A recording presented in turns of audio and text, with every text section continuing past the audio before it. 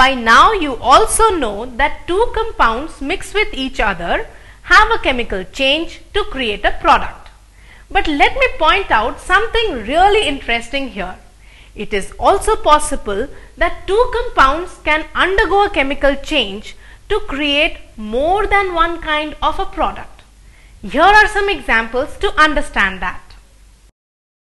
Carbon and oxygen combine to produce not only carbon monoxide but also carbon dioxide. Hydrogen combines with oxygen to produce water as well as hydrogen peroxide.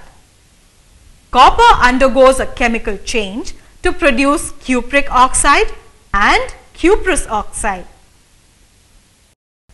So what you understand here is there can be more than one type of a product in a chemical change. Considering these facts stated that chemical changes follow law of multiple proportions which is the third law as we read at the beginning of the session.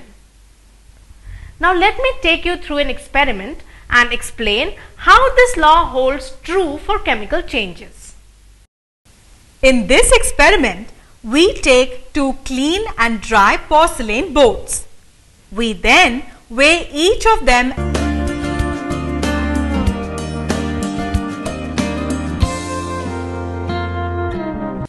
Now introduce these two boats into a combustion tube.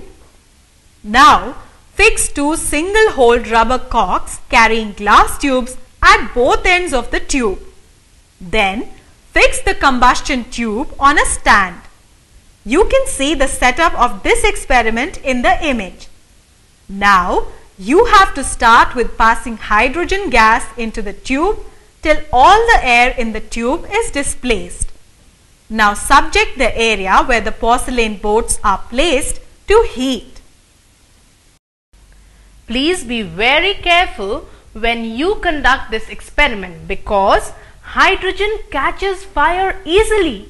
So while heating the combustion tube, you should take utmost care. Continue heating the tube and passing hydrogen gas till red copper powder is formed in the boats you have placed. Once you see the red copper powder deposits, stop heating. Then allow the tube to cool. Take out the boats and weigh them separately. You can get the weight of copper deposit in each boat by subtracting the weights of the empty boats from this weight. Now notice the result of the entire experiment on the table. Let's now understand these observations clearly.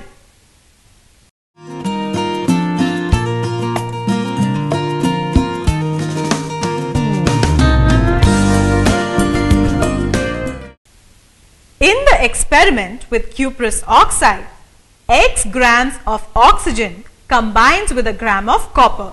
So 1 gram of oxygen would combine with A by x grams of copper. This is simple arithmetic.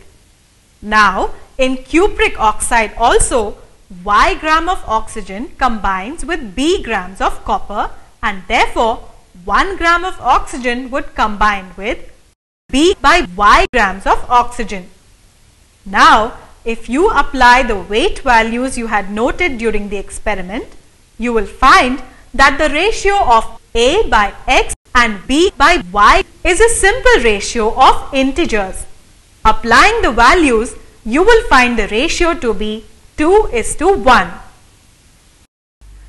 What you see here will also hold true for formation of carbon monoxide and carbon dioxide.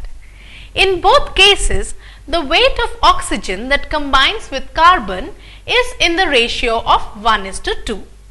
Also in the case where oxygen combines with hydrogen to form water and hydrogen peroxide, the weights are in the ratio of 1 is to 2. So, from the experiment we conducted and the various examples we have seen so far, it is clear that the weights of one element that separately combine with a fixed weight of another element bear a simple integral ratio. This law is known as the law of multiple proportions. So you saw how the three laws apply to the chemical changes in nature. Let's summarize now what all we learnt in this lesson. We studied three laws of chemical combination. Law of conservation of mass, law of definite proportions and law of multiple proportions. The sum of the masses of substances before and after a chemical reaction remains constant. Mass is neither created nor destroyed in a chemical reaction. In a compound, the ratio of masses of the elements is always the same and is independent of its origin. Two elements can combine to produce one or more than one compound. When two elements produce two or more compounds, the masses of one element combining with a constant amount of the second element are always a simple integral ratio. That's all from the store of chemical combinations for you today. Let's meet another day and learn more interesting concepts. Bye-bye.